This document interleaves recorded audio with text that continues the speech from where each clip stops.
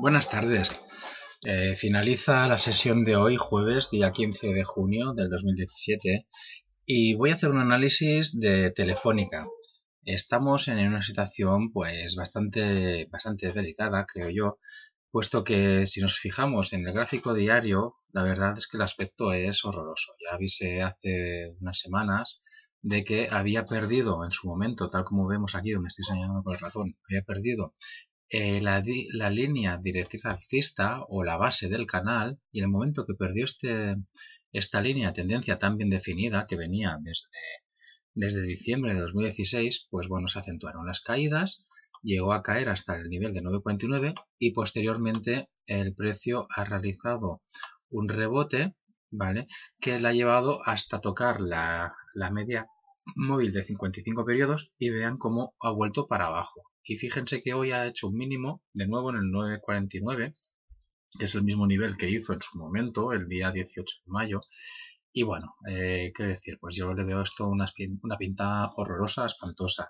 Fíjense que ha hecho una cruz de la muerte, eh, las medias móviles cruzando a la baja, esto es lo peor que puede haber para, para un valor, ¿vale? Igual que la cruz de oro, eh, es todo lo contrario, es cuando las medias móviles se cruzan al alza, pues en este caso esto es todo lo contrario. Y bueno, eh, tal como ha cerrado hoy, pues no, no puedo ser nada positivo de cara a los próximos días. Y más teniendo en cuenta que mañana paga un dividendo, que bueno, parece ser que ya lo han utilizado como un cebo para los accionistas que mantienen el precio, pues esperándose este dividendo, pero ya les digo yo que me sorprendería mucho que esto tirara para arriba. Bien es cierto que también podría haber un doble suelo y tirar para arriba, pero es que no, no lo veo factible, sinceramente. Eh, creo que como mínimo vamos a bajar a, los 9,06, más o menos, que es el 23,6 de Fibonacci. Pero, eh, siendo sinceros, yo casi diría que esto incluso, incluso, pues puede caer, pues, por ejemplo, hasta el nivel de 8,80 más o menos. Y ya veremos qué sucede, porque claro, si se cumple esta cruz de la muerte, pues lo más probable es que la tendencia bajista siguiera en el tiempo y no sería descartable incluso que bajara hasta mínimos de aquí, de la zona del canal este, que pasaría por 760. O sea, a mí no me parecería nada descabellado, la verdad. Mm, es tal como lo veo.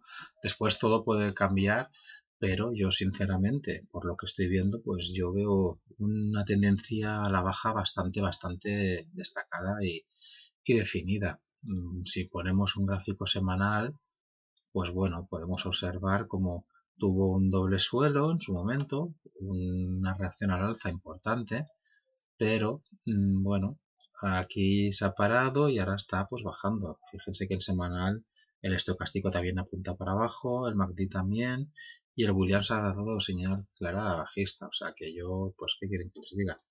Eh, no puedo ser positivo con este valor. Por mucho que quiera, si me remito a lo que veo en las gráficas, a mí las gráficas me marcan bajadas, ¿vale? Y considero que van a ser pues importantes. Puede que haya algún rebote por el camino, pero ya les digo que cuando veo una gráfica así, con este, este cruce de medias, que la media de 21 ha cruzado a la baja, la de 144 y la de 55, pues esto no pinta nada bien, nada bien.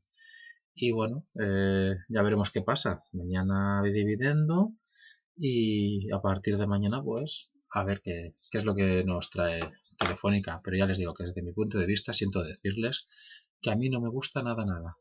Y nada, que tengan mucha suerte y buen día.